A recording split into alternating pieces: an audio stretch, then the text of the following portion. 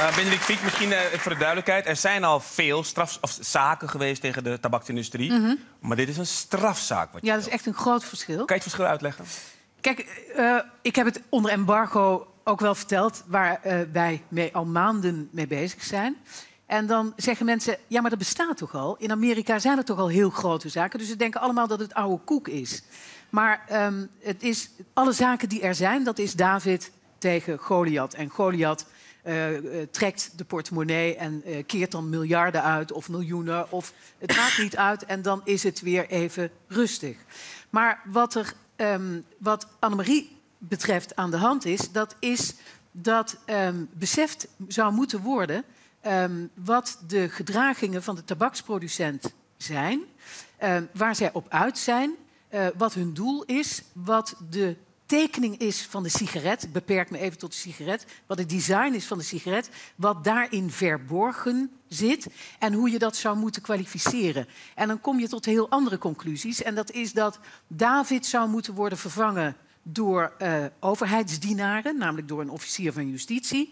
Die de wet moet toepassen en moet concluderen dat de tabaksproducent aan de lopende band heel bewust en met voorbedachte raden. En dat is niet een of ander eh, eh, eh, laf ballonnetje. Maar ik meen dat echt met heel mijn hart. Maar dat zij met voorbedachte raden jonge mensen bewust ehm, door de samenstelling van de sigaret zelf, designed to addiction, dat ze ze verslaafd maken.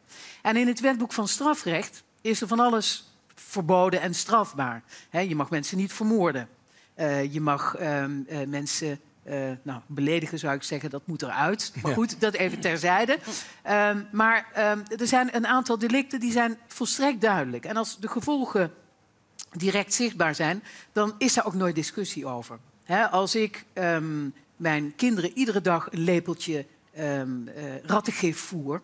ze zijn al wat ouder, maar stel ik, eh, ik doe dat even in... Dan, en ze overlijden, dan word ik vervolgd vermoord. Ja. Wat doet, wat doet de tabaksindustrie? Wat levert de tabaksindustrie jullie? Kijk even in het publiek. Er zijn ongetwijfeld mensen die ook regelmatig roken. Maar het zijn allemaal 18-plussers volgens mij die ik hier zie zitten. Er zitten gewoon geen jonge kinderen tussen. Maar wat, wat leveren ze aan? Dat zijn, eh, dat zijn vergifstengels die zo gefabriceerd zijn dat op de eerste plaats de natuurlijke afweer van iedereen, die, ieder mens is erop gericht om gif eh, uit te spugen. Kijk eventjes naar hè, mijn overbuurman, hè, die zal het ongetwijfeld bevestigen. Op het moment dat je een rokend huis ingaat en je ademt daar lekker de rook in, wat doe je dan? Alle trilhaartjes die gaan bewegen en je komt in een enorme hoesbui terecht. Wat doet de sigarettenfabrikant? Die voegt heel bewust en met voorbedachte raden in die sigaret menthol toe. Maar tegelijkertijd, maar dan kom ik toch bij het allereerste Ja. antwoord. Want, Ja. je, want zei Maar ik ben nog helemaal niet klaar. Hoor. Ja, ik weet het, maar Ja, ik ga even door. Maar je weet, je zei van het is geen oude koek, maar tegelijkertijd, wij weten natuurlijk wel heel lang al Mm, dat het giftig is. giftig is, dat het verslavend is. En dat je dus ook een bewuste keuze maakt, eh, ondanks alle verleidingen die in een sigaret zitten. Ja, ik zal eerst even zeggen, want anders maken we een, een, een te snelle sprong. Ik wil dat de tabaksfabrikanten dat die vervolgd worden voor het delict, het opzettelijk benadelen van de gezondheid. En dan zetten we heel smooth in, want het is eigenlijk veel Je zou ook zwaarder. tot doodslag kunnen doen, of niet? Tuurlijk, doodslag, moord. Ja, het is ook met voorbedachte raden. Dus we zetten heel voorzichtigjes in. Wij zeggen eh, dat uit het design van de sigaret het opzet blijkt dat zij de gezondheid willen schaden. En wat het belangrijke is om te beseffen, dat is dat ik nog niet over de longkanker van Annemarie spreek. Ik heb het dan niet over COPD, ik heb het niet over hartziekte, et cetera.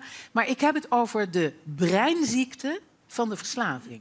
Dus je, eh, ziek, de, de term ziek en benadelen van de gezondheid is afhankelijk van definities die wetenschappers daaraan geven. En als je, als je brein zodanig ziek gemaakt wordt. Want het, de goudklomp in de sigaret is de nicotine. Nicotine is super verslavend. Verslavender nog dan cocaïne en heroïne.